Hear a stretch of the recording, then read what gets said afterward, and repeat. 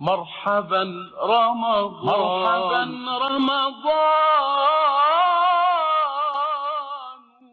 عدنا لحضراتكم مع الهدي الأخير من هديه صلى الله عليه وسلم في أحكام الصيام مع الفصل الأخير في هديه صلى الله عليه وسلم في الاعتكاف لما كان صلاح القلب واستقامته على طريق سيره إلى الله تعالى متوقفا على جميعته على الله ولم شعثه بإقباله بالكلية على الله تعالى.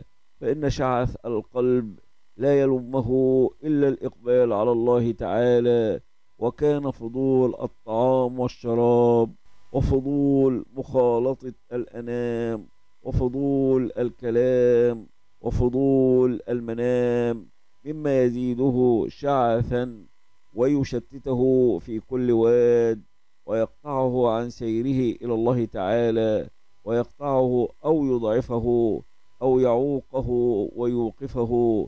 اقتضت رحمة العزيز الرحيم بعباده أن شرع لهم من الصوم ما يذهب فضول الطعام والشراب. ويستفرغ من القلب أخلاط الشهوات المعوقة له عن سيره إلى الله تعالى ولا يضره ولا يقطعه عن مصالحه العاجلة والآجلة وشرع لهم الاعتكاف الذي مقصوده وروحه.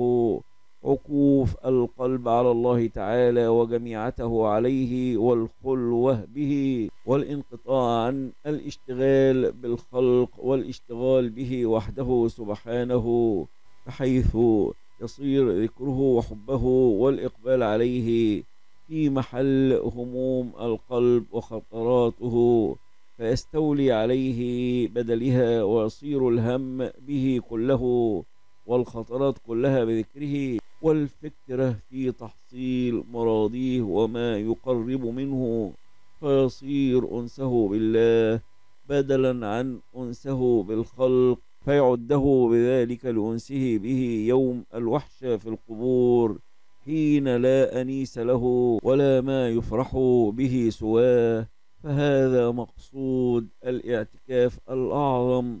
ولما كان هذا المقصود إنما يتم مع الصوم شرع الاعتكاف في أفضل أيام الصوم وهو العشر الأخير من رمضان. ولم ينقل عن النبي صلى الله عليه وسلم أنه اعتكف مفطرا قط بل قد قالت عائشة لا اعتكاف إلا بصوم. رمضان. مرحبا رمضان. مرحبا رمضان. ولم يذكر الله سبحانه وتعالى الاعتكاف إلا مع الصوم ولا فعله رسول الله صلى الله عليه وسلم إلا مع الصوم. فالقول الراجح في الدليل الذي عليه جمهور السلف أن الصوم شرط في الاعتكاف. وهو الذي كان يرجحه شيخ الإسلام أبو العباس ابن تيمية. وأما الكلام في أنه شرع للأمة حبس اللسان عن كل ما لا ينفع في الآخرة. وأما فضول المنام فإنه شرع لهم من قيام الليل ما هو من أفضل السهر وأحمده عاقبة وهو السهر المتوسط الذي ينفع القلب والبدن. ولا يعوق عن مصلحة العبد ومدار رياضة أرباب الرياضات والسلوك على هذه الأركان الأربعة وأسعدهم بها. من سلك فيها المنهاج النبوي المحمدي ولم ينحرف انحراف الغالين ولا قصر تقصير المفرطين. وقد ذكرنا هديه صلى الله عليه وسلم في صيامه وقيامه وكلامه فلنذكر هديه في اعتكافه.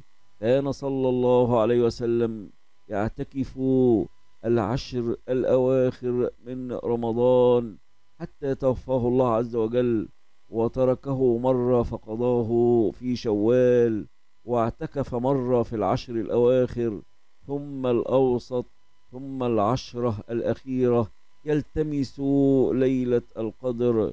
ثم تبين له أنها في العشر الأخير فداوم على اعتكافه حتى لحق بربه عز وجل وكان يأمر بخباء فيضرب له في المسجد يخلو فيه بربه عز وجل. رمضان أهلا مرحبا رمضان. مرحبا. رمضان. وكان إذا أراد الاعتكاف صلى الفجر ثم دخله فأمر به مرة فضرب فأمر أزواجه بأخبيتهن فضربت. فلما صلى الفجر نظر فرأى تلك الأخبية فأمر بخبائه فقود وترك الاعتكاف في شهر رمضان حتى اعتكف في العشر الأول من شهر شوال. وكان يعتكف كل سنة عشرة أيام فلما كان في العام الذي قبض فيه اعتكف عشرين يوما وكان يعارضه جبريل بالقرآن كل سنة مرة فلما كان ذلك العام عارضه به مرتين وكان يعرض عليه القرآن أيضا في كل سنة مرة فعرض عليه تلك السنة مرتين. وكان إذا اعتكف دخل قبته وحده وكان لا يدخل بيته في حال اعتكافه إلا لحاجة الإنسان وكان يخرج رأسه الشريف من المسجد إلى بيت عائشة فترجله وتغسله وهو في المسجد وهي حائض وكان بعض أزواجه تزوره وهو معتكف. فإذا قامت تذهب قام معها يوصلها يقبلها وكان ليلا ولم يباشر امرأة من نسائه وهو معتكف لا بقبلة ولا غيرها. وكان إذا اعتكف طرح له فراشه ووضع له سرير في معتكفه. وكان إذا خرج لحاجة مر بالمريض وهو على طريقه فلا يعرج له ولا يسأل عنه. واعتكف مرة في قبة تركية وجعل على سدتها حصيرا. كان هذا تحصيلا لمقصود الاعتكاف وروحه عكس ما يفعله الجهال.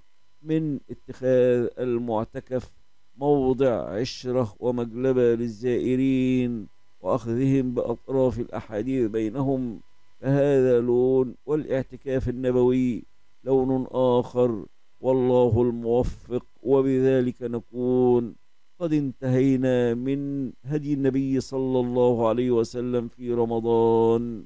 صلى الله على محمد صلى الله عليه وسلم. رمضان